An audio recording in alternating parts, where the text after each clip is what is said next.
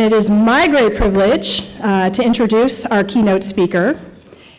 Carol Dweck is one of the foremost scholars on the subject of motivation and has conducted pioneering research on why people succeed or why they don't, and how to foster success through growth mindset practices. There's so much we could say about Carol, but I'm going to keep this short because we all want to hear from her. Her work has been incredibly influential and has caught fire in the education space, as all of you know. Professor, Professor Dweck is on the faculty at Stanford University, and one of many things that she does every year is she teaches a freshman seminar course, small group of freshmen on mindsets. She's the author of Mindset, The New Psychology of Success, and we are thrilled to have her today at Leaders to Learn From. Professor Dweck, welcome.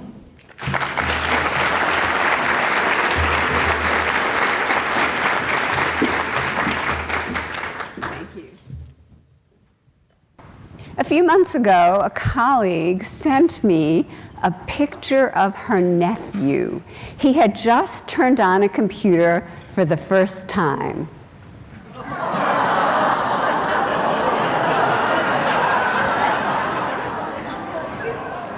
All our students were once like that. We were once like that.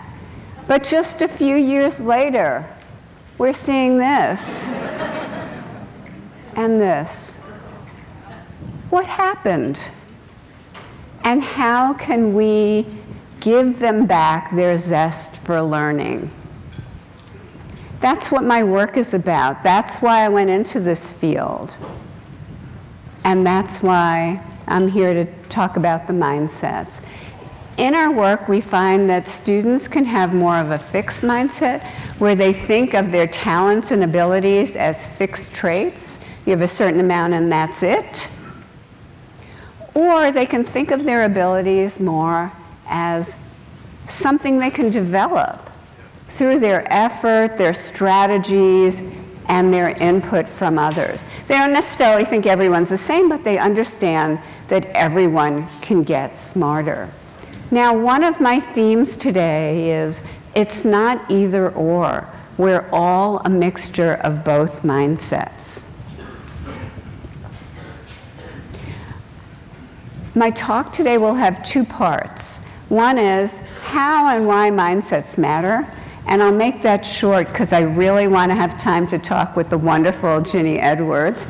But the second half is how to make that journey to a growth mindset more successful for educators and for students. Now, in our work, we've seen over and over that students' mindsets matter. We often assess students' mindsets at the beginning of a challenging transition. Um, we ask them questions like, um, agree or disagree, your intelligence is something ba basic about you that you can't really change. That's a fixed mindset, and we see if they agree more with that or more with growth mindset items. And then we monitor their performance. Recently, we had the privilege of studying all the 10th grade students in the country of Chile.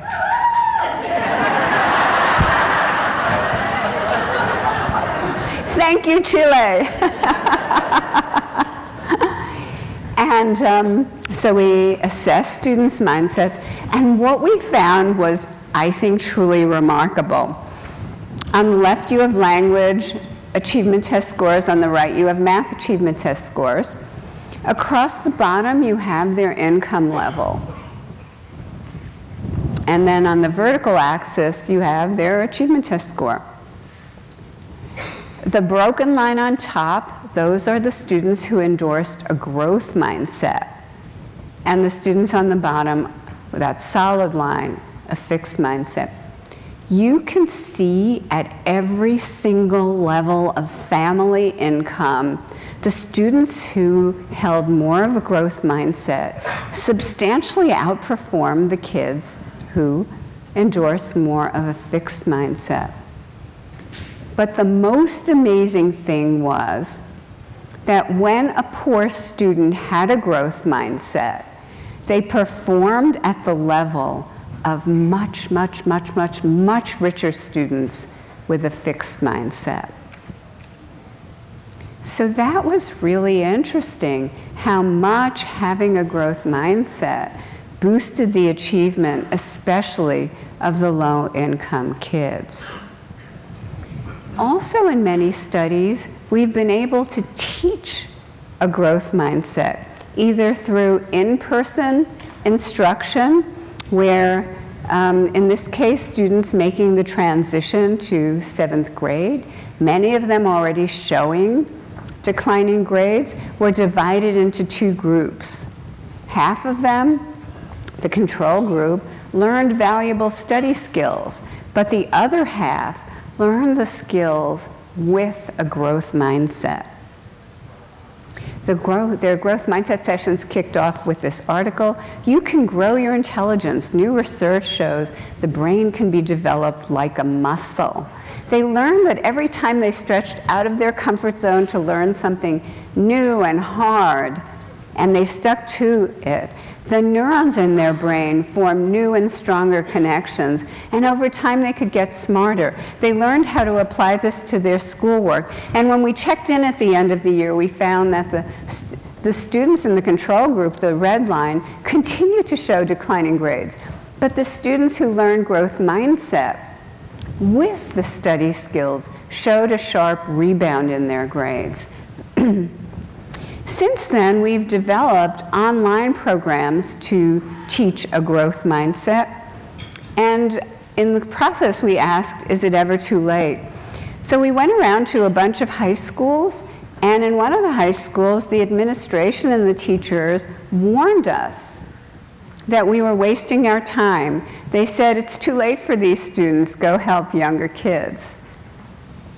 But we sent out our computer-based growth mindset uh, workshop over the internet.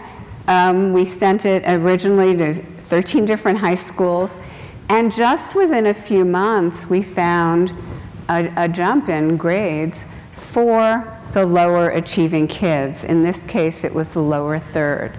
Since then, we've revised and tested, revised and tested our online workshop and right now, we've sent it out to thousands and thousands of kids around the country. And in the pilot for that study, we found that not only did we raise the, the grades of more kids, we raised the challenge seeking, the desire for challenge of kids across the achievement spectrum. Isn't that what we want? Don't we want all these kids challenging themselves eager to learn something hard and new. So we're really excited. And this program we've developed, once we know it's solid, that it reaches a lot of kids, and it affects their motivation and performance, we're just going to release it. And that should be in the next year or two.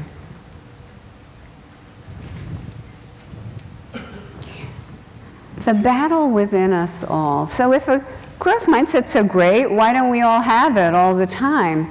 And the answer is this. There are so many things in the environment that trigger a fixed mindset, that make us feel judged. So that when we face a challenge, if we're triggered into a fixed mindset, we think, I better not look dumb. I better not work hard or ask for help. That'll make me feel dumb. And especially if you make mistakes or fail something, get out of there. Turn it off. But if we become able as students or adults to stay in that growth mindset, the challenge becomes an opportunity, to learn. Working hard, using strategies, getting help, that's how we learn. And when we have difficulty, that's another opportunity to take stock and learn. And once we get kids into that deeply effective, deeply committed learning state, those grades and test scores should be a natural byproduct of that. It's all about deep and effective learning. And it's all about creating an environment where students can stay in that growth mindset place and not be triggered into a state of threat and defensiveness, a state of smart and dumb worry. Okay, so that's kind of my whirlwind tour. Now, the journey to a growth mindset.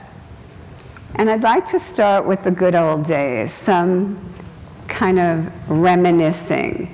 And in the good old days, we used to think it was simple, that the growth mindset was a simple concept. It looks simple, feels simple, you believe abilities can be developed. And we also thought once adults had it, they could easily pass it on to kids. It would kind of naturally show in their practices, and kids would pick that up. We were wrong on both counts.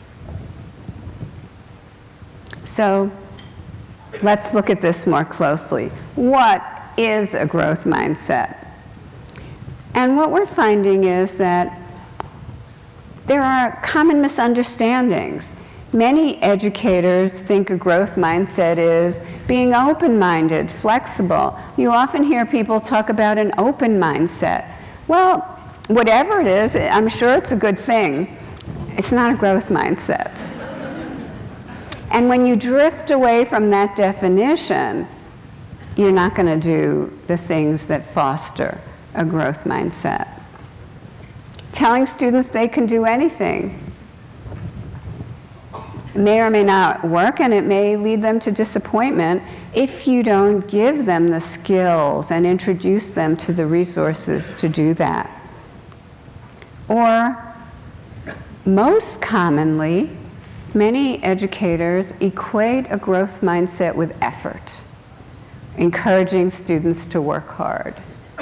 And that's what I'm going to focus on. But again, a growth mindset is simply believing that talents and abilities can be developed. So growth mindset's not just about effort. Developing abilities also involves strategies and help support advice and guidance from others. We can't leave those out, and here's why it's important. Think about these reassuring sounding statements. You would have done better if you tried harder. Keep trying and you'll get it. People say these things in the name of a growth mindset. And they sound good, but you would have done better if you tried harder. Maybe, maybe not. If the student didn't have the understanding or the strategies, didn't know where to go next, they can try, but they may not make progress. Or keep trying and you'll get it. Same thing. Maybe they won't get it. And if they don't get it, they'll feel all the more inept. As opposed to asking a student, what strategies have you tried? Let's figure out what your understanding of this is, and let's talk about where you might go next. So, probing for understanding rather than saying, try hard. You worked so hard. That's wonderful. Ways in which it may not be so wonderful. Um, many times a parent will say to me, It's not working. I told, I praised my child's effort and it's not working. I said, Well, is your child trying hard? No, not really. So, how's that going to work? How's that working for you? Um, or praise the child when they didn't make any progress or they didn't learn anything. And it is fine to praise their, the effort part of it, but effort is not the ultimate value. Learning and progress and improvement are the ultimate values, and effort is one route to, to learning and improvement. Someone asked me recently, What keeps you up at night? And it's this it's the fear that my work, which grew up to counter the failed self esteem movement will be used for the same purpose, trying to make kids feel good, but losing sight of learning. The growth mindset is meant to be a tool to help students learn to close achievement gaps, not a way to make kids feel good about not learning. Here's the second part of that journey changing educators' mindsets. A year or so ago, maybe two years now, a colleague in Australia named Susan Mackie told me she was seeing a lot of what she called false growth mindset. I said, Susan, what are you talking about? It's a simple concept. Why would people have a false growth mindset when they could have a true growth mindset? Didn't make sense to me. But she had planted the seed, and then I saw it everywhere. And when I thought about it, I started to understand that educators were kind of seeing that there was a choice. What kind of person am I? Well, there really was no choice, because if you were in a setting that said a, a, growth mindset was good and the thing to have, you really didn't have a choice. But people might ask themselves, am I the good growth mindset fairy godmother who develops children's brains and helps them learn? Or, and I see your smiles, am I that fixed mindset teacher who poisons their mind and stunts their growth. Well, it's, it's like obvious, right? You're the good person, so you must have, and you have many fine qualities, so you must have a growth mindset. But there's no journey there. You can't just proclaim that you have what you see as the more benevolent view. And now we understand you can't get there without a journey. So, what's the first step on that journey? And by the way, we have become so committed to understanding that journey. Um, so, what's the first step? You'll be surprised to hear me say this. Let's legitimize that fixed mindset because we all have it somewhere. Acknowledge that we're all a mixture. And then start watching for those fixed mindset triggers. What triggers you into a fixed mindset? Is it when you're confronting a challenge? Do you feel anxious? Maybe you'll be revealed as less competent than you hope when you're confronting a struggle or a setback or criticism? Do you become discouraged, defensive? When you meet someone who is better than you are at something you prize yourself on, do you hate them just a little bit? Or do you say, wow, how'd they develop those skills? Maybe I can learn from them. When you're in the classroom and you see a student struggling or confused, do you wonder about their ability? Students not listening to your lesson, do you think bad things about them? A student's learning quickly, do you think, oh, that's a smart student? So, what are your fixed mindset triggers? We all have them. Get to know them. Get to know your fixed mindset persona. When does it show up? How does it make you feel?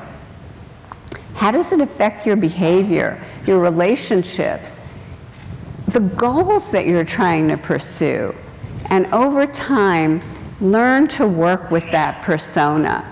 So I was uh, watching Susan Mackie work with some bank executives in Australia. She had them give their fixed mindset personas names.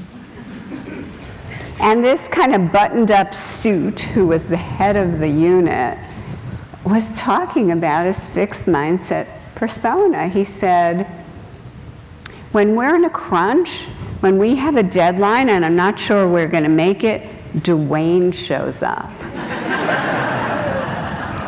And Dwayne makes me critical and mean and um, bossy.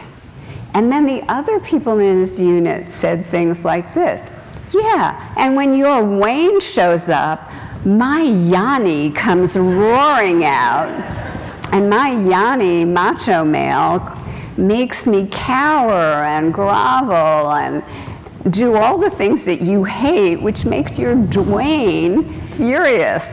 And they were talking about that. I thought, I thought it was fabulous. And that group used to have the lowest morale in the organization, and they shot way up. They're getting an award this year for the progress they've made. So name it, claim it, and talk about it. And over time, recruit it to work with you on your growth mindset goals. and here's part three of the journey. Now remember, in the good old days, we thought that once adults had a growth mindset, they could easily pass it on. But we have now been encountering over and over a very surprising finding in our work and the work, recent work of others, we have found that there is very little relationship between a teacher or a parent's growth mindset and their students or children's growth mindset.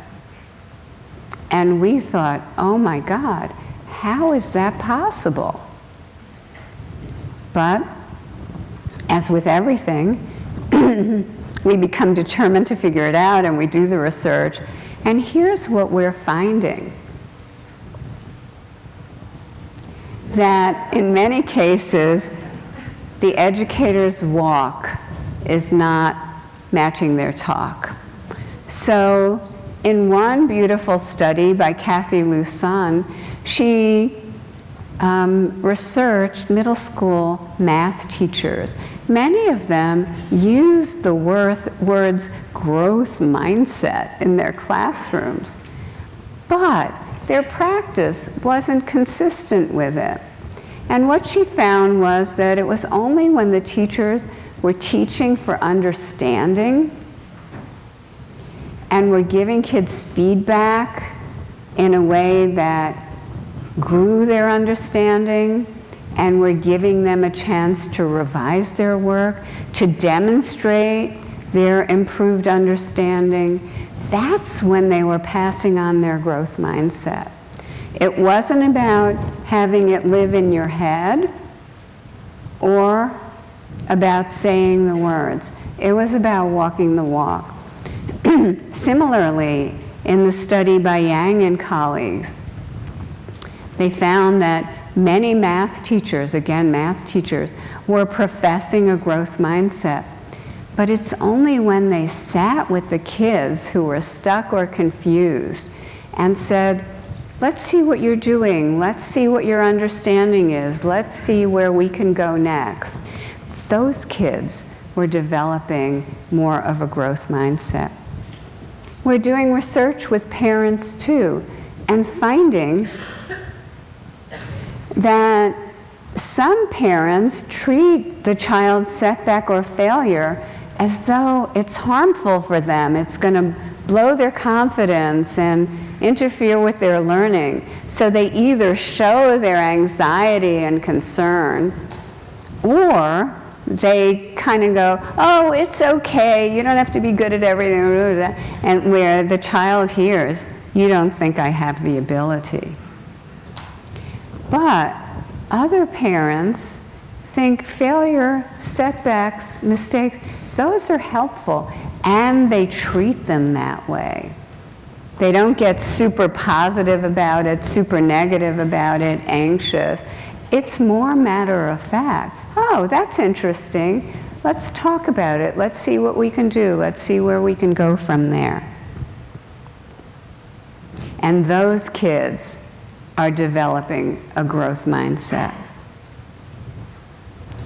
We recently published a study of parents' praise to their toddlers when they're actually they're babies and toddlers. We coded, excuse me, um, parent-child interactions when from videotapes when the child was one, two, and three years of age. And they were coded for the kind of praise the mother was giving to the children. And we found that the more the mothers used process praise, which is praise for hard work, strategies, so trying many things, getting help, um, the more, the greater proportion of that praise, the mother's praise, was focused on the child's process, the more the child had a growth mindset and a higher desire for challenge five years later when the child was in second grade. And we just found the more they were achieving in math and language areas two years after that when they were in fourth grade. It can always be changed, but it's powerful. That process praise was teaching children their abilities can grow. It can always be changed, but it's powerful. And now I feel entitled to interfere in airports. You'd be surprised how many people are telling their babies they're brilliant. And by the way, I have interfered in airports. So let's recap the practices that create growth mindsets. Teaching for conceptual understanding so that kids feel that understanding growing. Sit with children and ask them to show them what you they've done, figure out how they're thinking and where they can go next. Treat setbacks as beneficial for learning. Focus on the child's process and tie it to learning. So, not just praising effort, strategies, but tying it to the child's actual learning and progress. And a few more pointers. Use the neuroscience. Kids tell us before they have the growth mindset workshops that effort and difficulty made them feel dumb. But now, when they're really stretching themselves, they can feel those neurons making new and stronger connections. Give them that gift of that image. With adolescents, let them author their own learning of a growth mindset. We have found in our research the worst thing we can do is say, well, we adults have found the answer and we'd like to help you. Um, even when we send out online in uh, workshops, we say, look, we're developing these for kids in the future and we'd like your input. And that's true. We use their input to revise, that makes them feel ownership. We give them quotes from other teens who have gone through. We have them advise uh, future students on how to implement a growth mindset. So let it come from them. And we're also learning to link growth mindset to the child's larger goals. So they don't want to grow their brains to do well on achievement tests. I mean, that's not the ultimate in life. And, and my fear is that with all the emphasis on grades and achievement test scores, that becomes their larger goal or getting into the next school. And yet, every child has within them a wonderful contribution. And we have found that when we ask them to think about the contribution they would like to make, to their family, to their community, to society in the future. And we link that growth mindset, growing your brain, to making that contribution in the future. Kids are so much more motivated. So, A growth mindset is not a panacea, but it does empower kids and help them learn. So, why don't we as educators take that journey to our growth mindset? Bring our walk into line with our talk so that our growth mindset becomes our students' growth mindset as well. Thank you.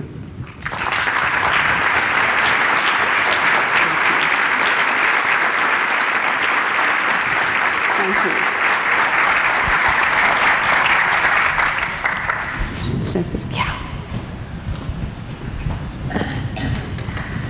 Thank you very much, Carol. That was incredibly uh, uh, relevant, I think, to all of us and all our work. Um, so I want to know when my father, when I would come home with a 99% or a 98% on a test, and he said, "Why didn't you get 100?" Did that foster my mind, my uh, growth mindset? I don't think so. I don't think so. I'm thinking it certainly motivated me at some level, I guess. Um, so to remind us, Carol and her research uh, and the, the folks she works with have found that students' mindset, how they perceive their abilities, play a key role in their motivation and achievement. And that they've found that it, if, if we change students' mindset, we can boost their achievement. So in diving down a little bit, we're gonna, here's what's gonna happen. I'm gonna take uh, 10, 15 minutes to ask a few handful or more questions. And we'll try to get through, you know, move really quickly. And then we do have mic runners. Jason and Tracy are going to be available, and I'd love to be able to get um, several questions in. So we may even tee up, you know, a few mm -hmm. at a time so Carol can be responsive. So in diving down to get even maybe more concrete than you were able to already get, so, what have you found to be uh, the influences that um, for how a student perceives his mindset? Mm-hmm. So, um, we talked a lot of, about the messages that the student is getting in the from the environment, the failure messages, the praise, the focus on, on, on, understanding. But I'd also love to bring in the larger culture of the school that we've become very, very interested in. Um, and we are finding with all kinds of organizations, we haven't looked at schools yet, um, but all kinds of organizations, that when people in an organization think that the organization believes in developing abilities, they feel more empowered, they feel more committed, they take on more innovation and creativity. And whereas the people in the more fixed mindset organizations feel, oh, if something better comes along, I'm going to take that. There's a lot of, they report a lot of cheating and cutting corners, you know, because they want to get ahead in that smart, dumb, talent, non talent.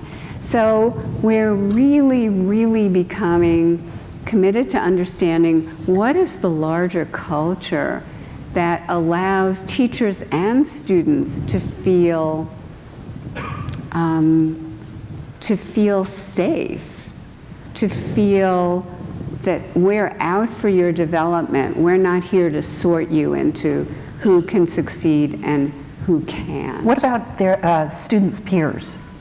The peers are really important. And one of the most exciting things I hear from people is that when it's a culture of development, the peers band together and do things. And uh, I've heard about skits and um, song, rap songs about growth mindset. It's kind of like they can really band together around learning.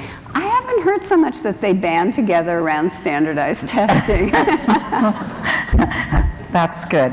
Um, so I was thinking about when you were talking, you were talking about measuring um, a person's, whether Yeah. a student or a grown-up's mindset. What are those measures? How does what does that look like? So um, we have these measures just for research purposes. We have a set of questions. Your intelligence, something very basic about you that you can't really change, versus everyone, no matter who they are, can become a lot more intelligent. We just use those for research purposes. And we talked about how recently people are talking about accountability for some of these non cognitive measures. We're not there. We're not there in terms of um, measurement because kids can, teachers know what's the right answer to check, and kids can be taught what's the right answer to check. So we're not there in terms of measurement. And also, as you saw from my talk, we're not there yet in terms of teaching educators how to pass it on. That is our number one research focus now. Um, we want to create online materials for educators, how to introduce and implement a growth mindset with their classroom.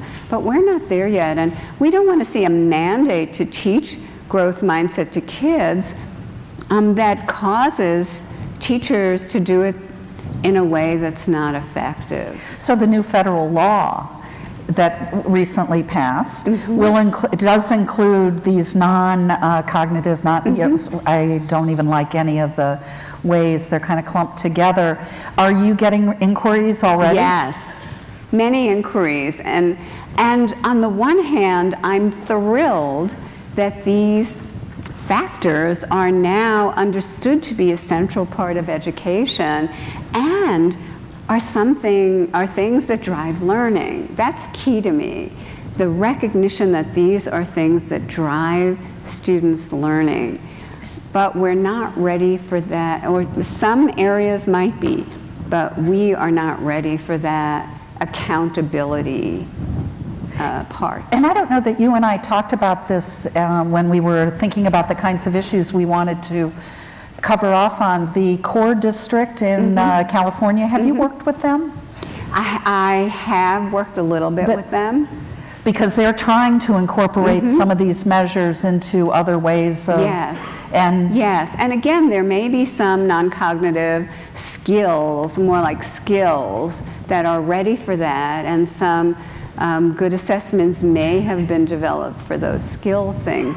But these more um, mindsets, beliefs, patterns of behavior, um, we're not there yet. So, Carol, you talked a bit about, and what I put on my notes here was this kind of perception versus reality, your walk and talk, I think. Yeah. um, metaphor. Um, do you see it more in students or grown-ups, or you know the difference? I have a growth mindset, but when you measure it, I really don't. Mm-hmm. And, and just what is the? How do you think about moving people who think they have a growth mindset to, but really don't? To Yes. yeah. We see it more in the adults. The kids, the kids tell it like it is. Um, but I don't blame the adults. Um, I feel like we may have communicated, or we may even have believed it was simple to achieve a growth mindset, or that you could achieve a growth mindset rather than embark on this more difficult lifelong journey. Um, but now we, we see we are trying to spell out what are the steps of that journey. And I mentioned to you a minute ago, um, in my freshman seminar, I used to tell them, How are you moving toward a growth mindset? And a lot of them would say, Oh, I've always had a growth mindset. And I'd look, What do you mean? I don't think that's true, but I didn't quite say it that way. Um, but now I give the assignment what are your fixed mindset triggers? Name your fixed mindset persona and bring it on board with you. Tell me how you're going to bring it on board.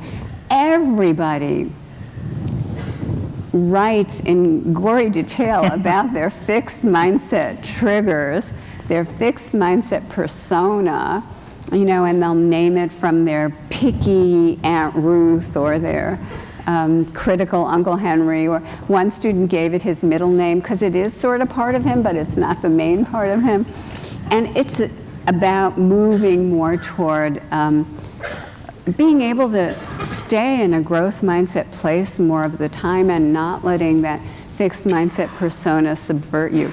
And once that becomes the language of the school, people can joke about it and talk about it. Whoa, there I was, and um, this is what the student did, and um, Henrietta came roaring in, and this is, I, I caught her, but this is what she wanted to do, and this is what I did instead. So you told me about another assignment you've given your uh, students in the seminar. Oh, yeah.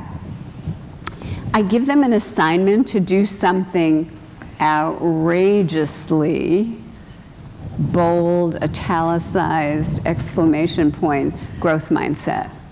Something outrageously growth mindset, something they never would have done otherwise, but that will help them change in an important way they want to change. So last year, um, one young man was outrageously, well, extremely shy. He realized the whole Stanford experience was passing him by. He sat in his dorm room while everyone else networked and joined clubs. And for the assignment, he decided to run for president of his dorm. The night came for the campaign speeches. He was, you know, kind of waiting in line, and he thought, I can still go sit down and not do this, but then what will I write for my paper? so he got up there, he gave his speech, and he won. he became the center of social life in his dorm. He then tried out for the freshman class play. He joined a salsa group that salsaed all over the region, and he just went from there. I love that. Um, you've said that a growth mindset is not. So just one please, more thing. Please, please, please. You can all do that as a group in your schools and come back and report. It's really hilarious. or not. Right?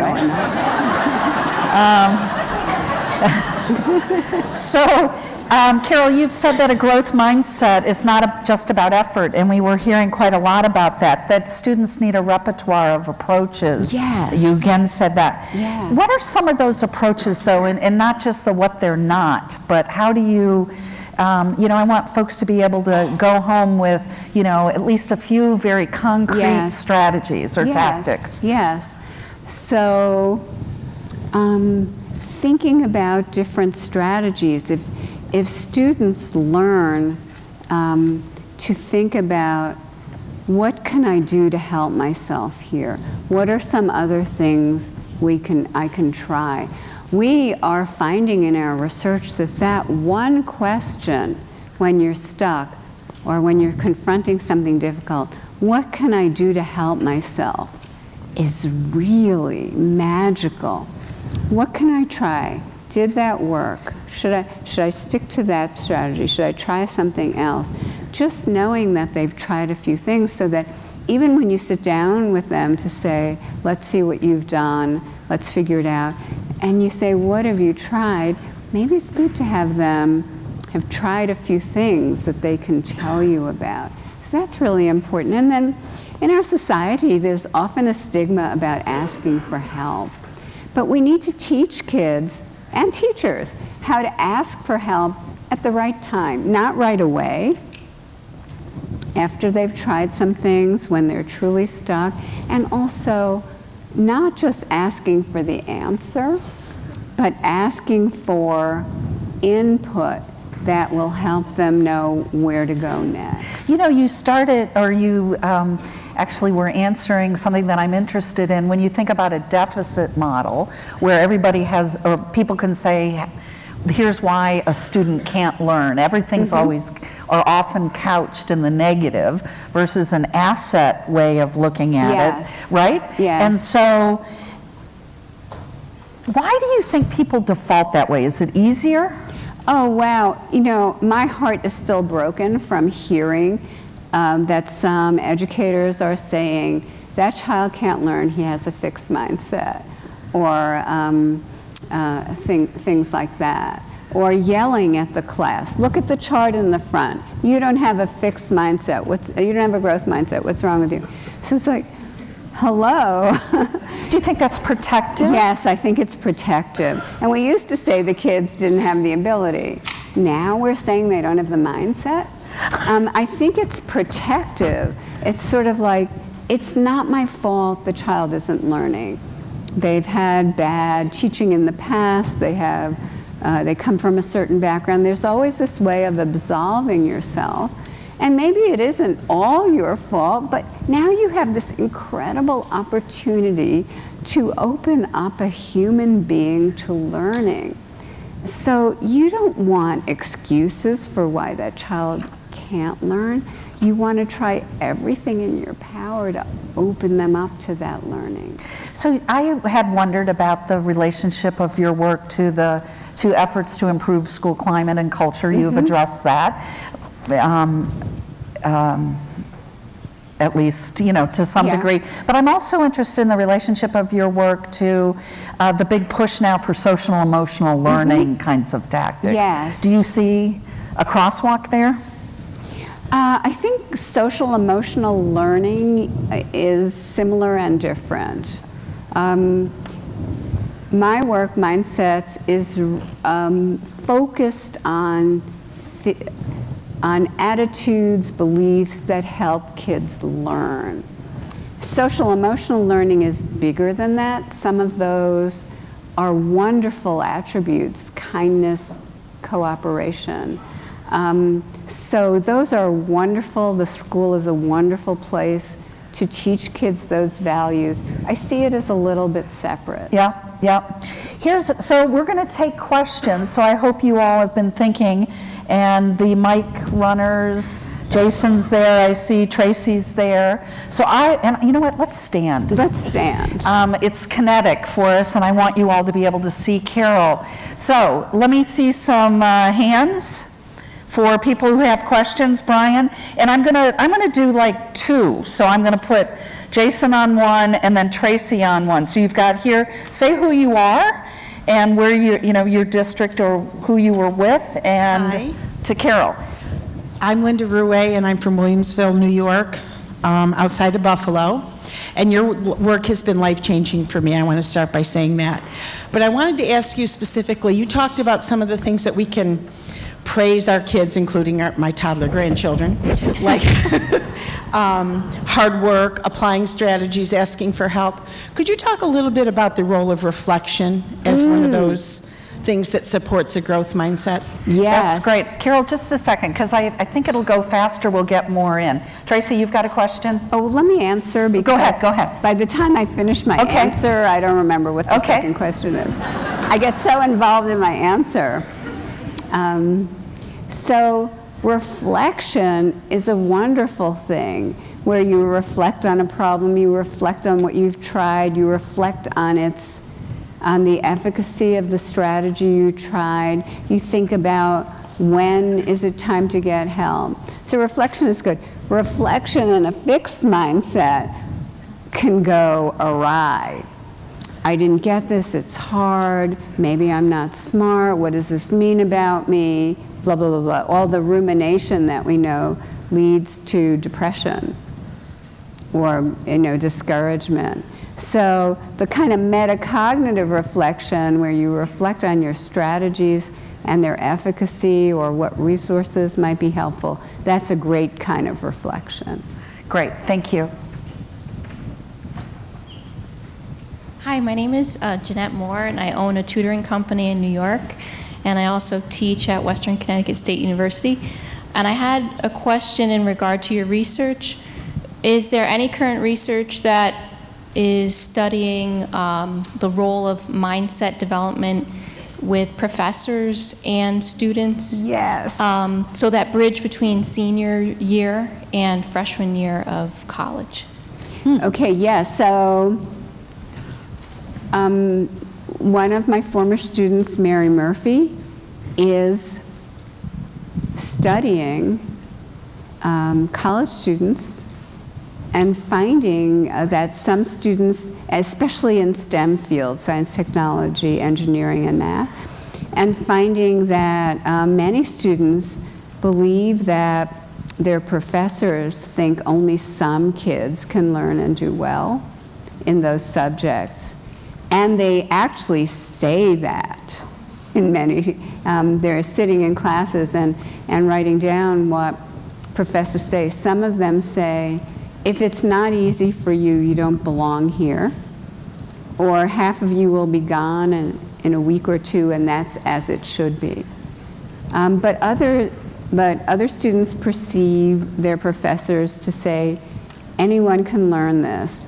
And their professors say things like, everyone in this room can learn, and we are here to make sure that happens. We will sit with you as long as you need until you understand this material. And the finding is that women and underrepresented minorities blossom when they perceive that their professor in STEM fields has this growth mindset perspective. That's great. Brian, you had a question. You've got yes. it. Um, good afternoon, Dr. Dweck. My name is Brian Pick. I work for DC Public Schools. I love my job, but boy, right now I wish I were a freshman in Stanford University. um, there's a lot of buzz right now in education circles about concepts like grit, perseverance, mm-hmm. productive struggle. I would uh, be curious to hear your thought on how growth mindset is or isn't kind of those concepts yes. as well. Thank you for that question. Um, there's research showing that um, growth mindset is a basis for grit. Um, so the two together could make a nice combination because how do you teach grit? Um, and we don't want to think it's some, something some people have and some don't, and so some will succeed and some won't. But if we understand that there are beliefs and mindsets that are at the basis of grit, then we can begin to understand how to teach those qualities, those patterns of behavior to more kids. Brian, did you include resilience in that? Resilience. Yeah. Well, bouncing back from setbacks is at the heart of growth mindset. Um, Tracy. Marty. Hi. Hi, Marty Blank with the Institute for Educational Leadership. Can you talk about growth mindset through the lens of racial equity? Yes. And to what extent your, your last comment to this questioner here uh, suggested, reminded me that we have a, continue to have a predominantly white teacher workforce, yes. working with an increasingly minority student population. Yes. Are there a set of assumptions and stereotypes that yes. fuel whether children are fixed or growth in their mindset? Yeah, and whether teachers view them through a, a fixed or growth lens. So we're finding that um, our growth mindset workshops have an even more beneficial effect for students who are members of underrepresented groups. Um, we're finding, as I said, the, the teachers who are walking the growth mindset walk are having a disproportionate um, positive effect on students who are un, uh, underrepresented in those fields. We're totally committed to, to issue, issues of equity and to studying um, how, how to close those achievement gaps.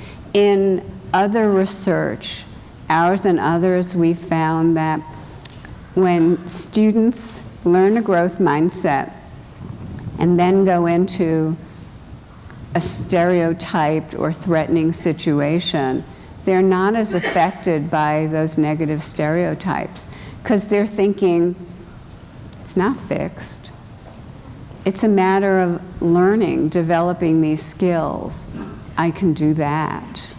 And they also understand that when they get the growth mindset message, the person delivering the message is looking at them through a growth mindset lens, not through the lens of a stereotype about ability. So, yeah, all right. I'll stop no, there. please. No, Jason, there. do you have a question? question? Hand up. Michael? Oh, we got one, but sorry. You're now in the queue.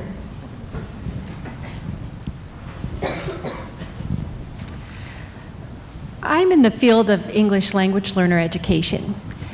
And we have three decades of research indicating the failure of teacher preparation programs to overcome that deficit perspective on the part of teachers toward English language learners and other culturally and linguistically diverse learners.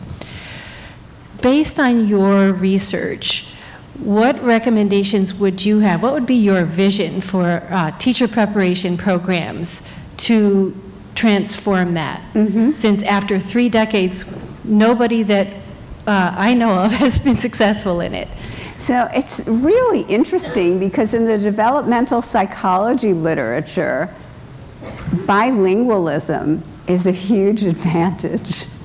Um, uh, kids have more, um, a stronger executive function if they're um, able to work in two languages, et cetera. I think one important thing would be to teach in teacher preparation programs that bilingualism confers cognitive advantages. I think that would go a long way. But then also to have them generate ways in which um, coming from a different culture, having a different linguistic background could be an asset that the child brings rather than a deficit. So I think that kind of discussion and orientation in itself would be very valuable. Michael, would you like to follow on that? You were going to ask a question? Yeah, here comes Jason. He's on the run. Superintendent Matsuda. Thank you. Um, Yes, Mike Matsuda from Anaheim Union High School District. So one of the leaders that, to learn from, that we've, that I've learned from, uh, Steve Sandoval from uh, Colorado, is from a district that has competi- competency-based and mastery-based learning. It seems to me a natural fit, but would you comment on that? Oh, yeah, I think mastery-based learning is a, has a, is a wonderful fit with growth mindset. Um, especially if students are reminded of their progress. Um, so, you know, when you're confused, you feel like, oh, I'm back to square one. Even my graduate students feel that way. And you lose sight of all the way you've come, the distance you've traversed. So, mastery learning with um, emphasis on progress, with showing students how their good work habits, if, if they've done those good work habits, have fostered the learning, the strategies they've tried, the resources they've used, very, very compatible. You know, it strikes me, Carol, that in business and in other sectors, the notion of failing is actually celebrated. In some quarters, yes. In, in Well, you Silicon fail Valley- fast to iterate Yes, and move on, right? exactly. Silicon Valley, Yep. absolutely. Well, I mean, it strikes me Yeah. that some of it is a- about the iterative Yes, process, yes, right? exactly. All right, we have time for one more question. Jason's got one. Hi. I'm Mary Kay Carlo with Scholastic. How are you? Fine. So I thought about what you said today, and a professor at my daughter's college also is a professor at Harvard. And he made the comment that at their particular school in the STEM program, they really do try to weed the kids out. Where at the Harvard, when he teaches at Harvard, there's this um, culture that we want to keep the students. We don't want to lose anybody. Once they're there, they want to keep them. So Yeah. completely different culture. But what about this idea of this, that students are able to collaborate a lot at Harvard? That's good. And so do you think? Collaboration is wonderful. You know, in real life, you collaborate. In real life, my research wouldn't be what it is if I didn't talk all day with my colleagues and design studies and everyone runs out and does their part. Real life is about collaboration. It's about knowing how to put your minds together to create something um, greater. It has to be orchestrated well, but rarely in, in, in real life do you sit down at your desk uh, just well, maybe, maybe it's not so rare, but it shouldn't be that you sit down, learn, take a test. Everyone around you is doing the same thing, but no one talks about it. It, it should be collaborative. I'd like you all to join me. I, first of all, I want you to know I've named my fixed mindset self. and for reasons I will not divulge, it is Chip. Ooh. Ooh, there's deep meaning there. Let's all thank Carol for her time and message.